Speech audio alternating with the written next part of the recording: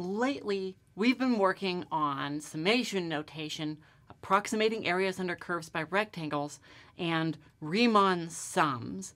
And I want to um, explore with you right now um, producing a self-contained formula for a right Riemann sum for a particular function over a particular interval.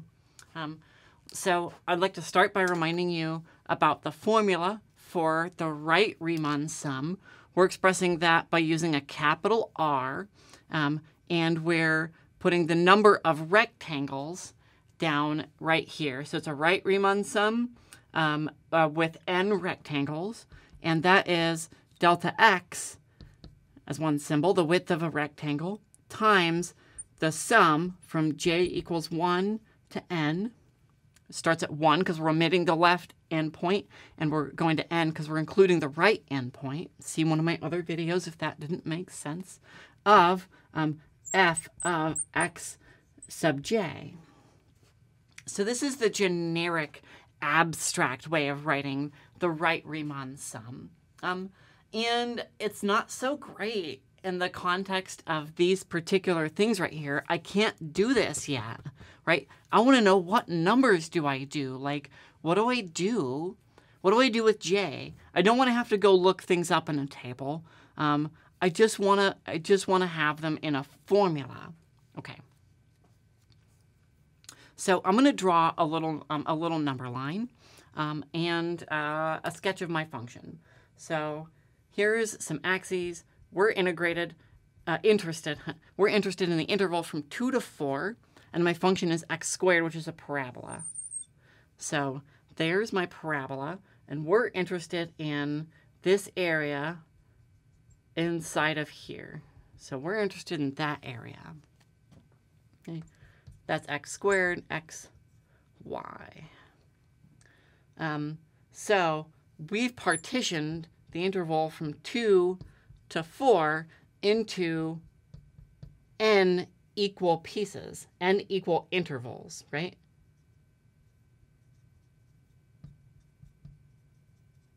Because we're taking uniform partition because it's easier to work with. We want to know what's the width of one of these things. Well, the width of one of those is delta x. Or if your variable is t, it's delta t. Or if your variable is z, it's delta z, whatever it happens to be. Um, right, so our goal uh, with this part right now is we're going to try to replace this delta x by something that I can actually work with. We're trying to produce a self-contained formula so I can just plug stuff in and go. Um, so this is equal to, well, what's the total width? Because we're, we're taking the total width and breaking it into n equal pieces. Um, the total width is 4 minus 2 over n, which is equal to 2 over n. So we can replace delta x by 2 over n. r sub n equals 2 over n. Cool. The sum from j equals 1 to n. So this part right here um, I can make that I can make that more specific even without using anything over here. That right there is just going to be x sub j squared. Okay, so I need to know what is x sub j, and then I'm going to take that and I'm going to square it. Okay, so x sub j is the thing that's going to be inside of inside of these. And I want to get x sub j, a formula for it, so that I don't have to go look things up in a table. Okay. So um, what we should do is um, we have a picture and we haven't fully labeled it yet. And I'm a big fan of pictures and we're going to label everything in sight. I just love labeling everything in sight. Okay. So one of these, one, one step width is delta x. That's the width of one of these little intervals which means that this one right here is 2 plus delta x. And then this one here, I'm going to step over by delta x again. That's going to be 2 plus 2 times delta x. This is 2 plus 3 times delta x, 2 plus 4 times delta x, and so on. Okay, so all I'm doing is increasing the number in front of the delta x. This is x0, x1, x2, x4, right? That's equal to x sub 4. This one's equal to x sub 2. So check it out. The number that's in front of delta x is the subscript, right? Which means that the generic jth one, this is x sub j, can be expressed as 2 plus j times delta x. x sub j is 2 plus j times delta x. Okay, 2, I'm probably going to have to erase that. I don't think I'm going to have enough room. Okay, 2 plus j times delta x. But we know what delta x is. We totally know what delta x is. We already figured that out. Delta x was 2 over n.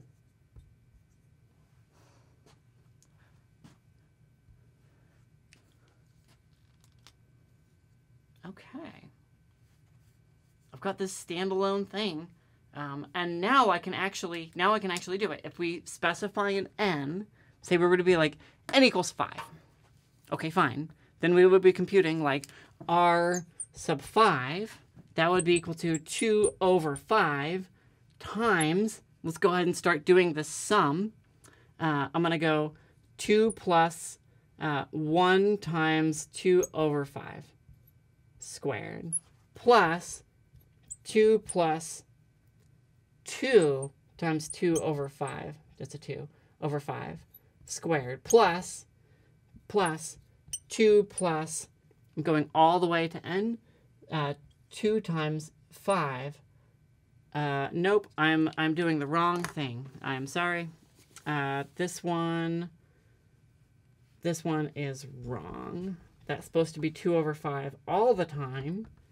I'm going to leave that in the video. I think it's valuable for you to see me make mistakes.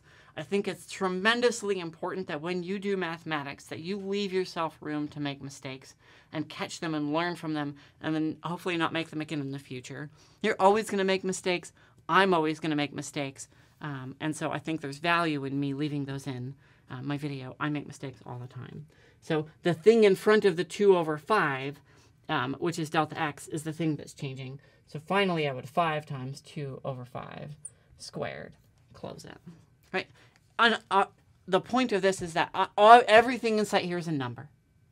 I have no symbols left. Everything here is a number, um, which means that like my computer will will do this for me, right? I get some number um, out of it.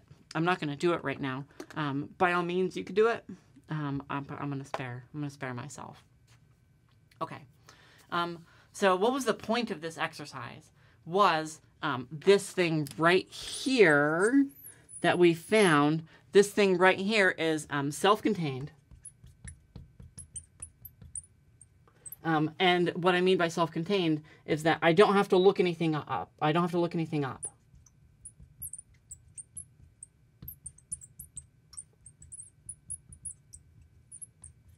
Right? I don't have to go like grab something from some table or anything like that. Given an n, j is specified because we know that we're going between 1 and n. So given an n, this, this gives a number, right? This gives a number.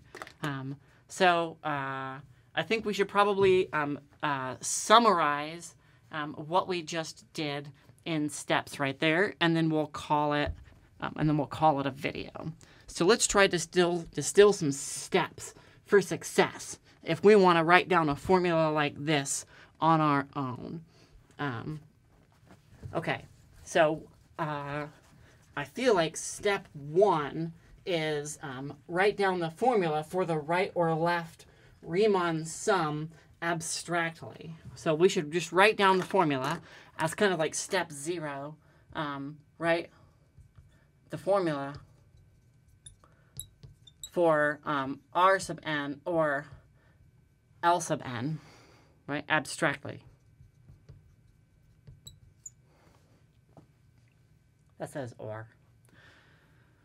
Okay, so that was like this thing right here. This is step zero. That's step zero. Um, I feel like the next thing that we did um, was we uh, found a formula for delta x. Well, delta x is equal to um, the width of the total interval over which I'm estimating. I'm estimating from A to B. Um, and then how many pieces am I dividing it into? Two. We need to get a formula for x sub j.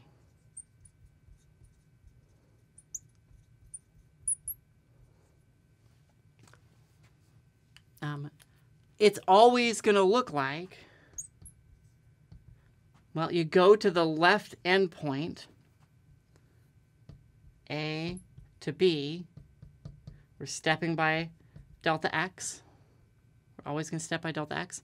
Um, plus, how many times do you have to step to get to that thing? J times delta x.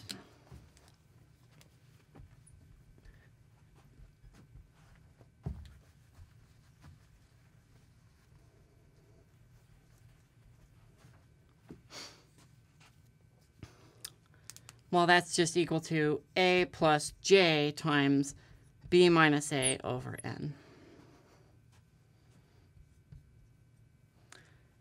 3.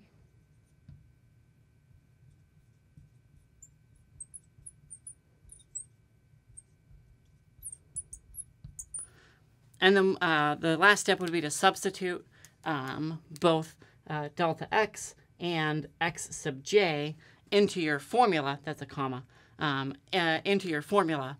Um, and then the available simplification we're going to do. If we really wanted, we could like distribute out this um, this square um, and we'd get some some terms. Um, I don't feel like it would be uh, uh, significantly improved for this particular example, um, but particularly sometimes if we start integrating when a is zero, this this two plus right here would be absent, and we'd be able to like start factoring things out um, pretty easily. Um, uh, but I don't want to do that right now. Um, so uh, I think I should label, okay, so step zero was recall. Step one um, was a formula. Uh, step two right there, and then substitute and simplify. Um, so you just have to um, grab those pieces, put them in the right places, and then you're off to the races.